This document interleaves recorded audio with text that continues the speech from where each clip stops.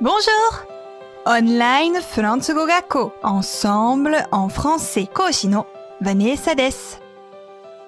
今日もとっても役立つフランス語の表現をご紹介しますね。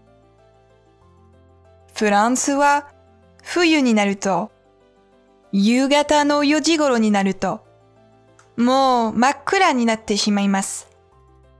さて、夜になるとフランス語で言うにはどのように言えばいいんでしょうか La nuit tombe.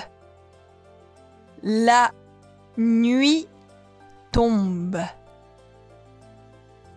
La nuit tombe. La nuit tombe. 夜が落ちると言います。太陽が落ちるではなく、夜が落ちるんですね。でも日本語でも夜の帳が降りると言いますので似てますよね。さて、もっとフランス語を勉強したいという方は、Ensemble のレッスンでお待ちしています。Au revoir! À bientôt!